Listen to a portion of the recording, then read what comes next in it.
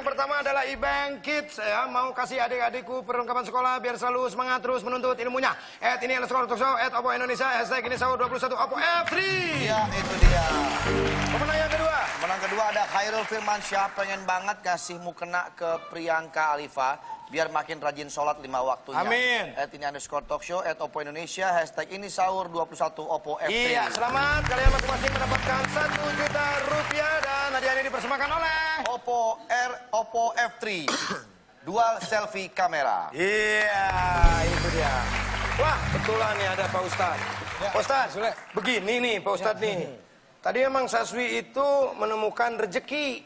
Ya, Nah, terus rezekinya itu belum tentu kan dari mana-mananya. saya justru kehilangan tas. Sebetulnya mau sumbangin buat yayasan. Oh punya Pak. Ustadz. Ya, Iya itu nih. emang punya Tapi Pak. tadi udah dibeliin ya.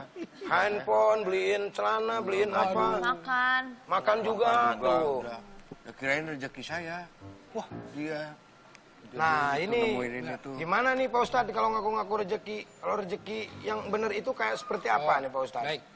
Sebelumnya saya sampaikan ya. salam. Ah. Salam yang terbaik, salam para malaikat kepada para penghuni surga. Assalamualaikum warahmatullahi wabarakatuh. Nah, kalau ini menemukan seperti ini bahasanya bukan rizki ini. Tetapi disebutnya di dalam bahasa Arab itu lukotoh. Lukotoh itu barang temuan.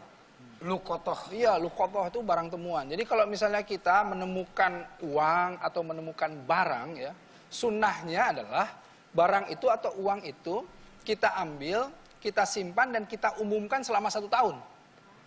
Jadi kalau zaman Rasulullah itu diumumkan selama satu tahun dan diumumkannya harus di tempat-tempat yang ramai, yang berkerumun. Seperti di pasar, di tempat orang-orang berkumpul. Kalau selama satu tahun itu tidak ada yang kemudian mengakuinya, kemudian bolehlah barang itu dipakai. Tetapi setelah dipakai di tahun kedua ada yang mengakuinya dan benar itu barang miliknya, tetap harus kita kembalikan. Itu sunnahnya. Nah kemudian kalau seandainya barang ini ditemukan di tanah haram, ya, misalnya ditemukan di Masjidil Haram atau Masjid Nabawi, tidak ada yang boleh kemudian digunakan. Itu tetap harus diumumkan. Nah, kalau barang-barang atau uang yang ditemukan ini ini eh, cukup sedikit atau bisa apa namanya remeh lah ya, artinya misalnya permen atau makanan atau misalnya uang juga tidak seberapa, ini boleh kemudian diumumkan dulu dan boleh kemudian dipakai.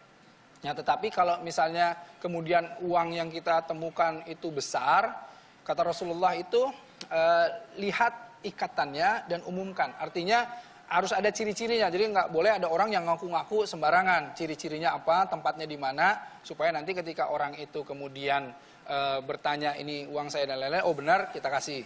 Nah, kemudian lukotoh ini juga sangat eh, apa namanya harus hati-hati karena kalau ada orang yang tidak mampu nih ketika ngelihat, wah saya nemuin barang tapi saya nggak amanah nih perasaan, gimana caranya? Nah ini lebih baik diserahkan kepada yang amanah. Misalnya kalau misalnya kita lihat ke eh, orang yang bisa dipercaya gitu ya, kalau misalnya enggak, kan ada lost and found itu dulu tuh di masjid-masjid itu tempat lost and found sebetulnya. Nah itulah sebetulnya cara kalau kita menemukan barang temuan. Jangan sampai ada yang salah eh, apa namanya eh, mengantisipasi barang temuan. Jadi kalau misalnya nemu, kemudian wah saya nggak tahu nih mau dikemanain, ah sedekahin aja.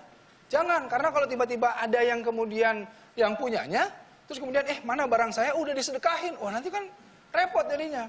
Nah seperti misalnya Mang Saswi dapat kemudian dipakai, disedekahkan, dikasih, pakai makan-makan dan lain-lain. Ketika ini seharusnya haknya untuk orang lain, ini akan sulit. Nah, rizki itu bukan yang seperti itu, ya.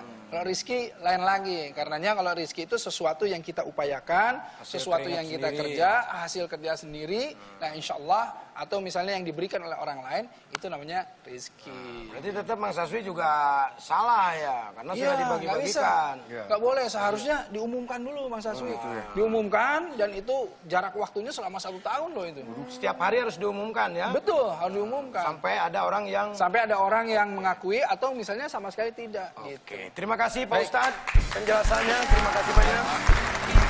Terima kasih Dara, terima kasih Ibu Tato, terima kasih. Terima kasih juga buat penonton. Sangat luar